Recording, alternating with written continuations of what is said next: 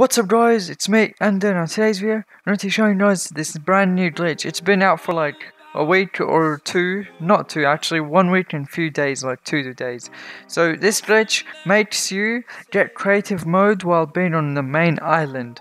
So it's quite a really nice glitch because you can take whatever item. So make sure that you go in game settings, make the time limit, you know, unlimited just because why not.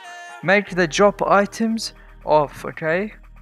Drop items while when eliminated and respawn height, make them off for this glitch to work.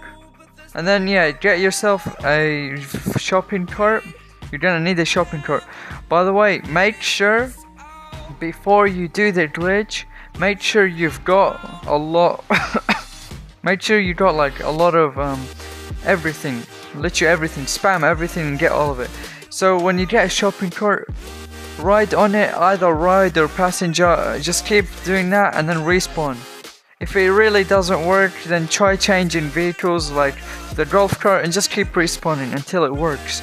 So you see, you can change to passenger. Maybe you have to move the thing as you did, and you see it worked. So when you realize you have the phone in in the creative hub, you can fly. Now all you need. This is another glitch. You can farm mats, and it's not really a glitch, but it's one of those things that uh, you can use to help you with your glitch. So you'd want to go uh, farm and then get yourself a plane, okay? You have to have a plane you might be able to do it with a quad crusher. I don't know. It might work if you're like really good at flying. So get a plane, just fly upwards, and then your screen will be so glitchy like that. So yeah, when your screen is so glitchy, you just have to wait. It might drop you under, back where you were, or it might drop you on top of the map. There's gonna be like an invisible barrier. So that's what you want.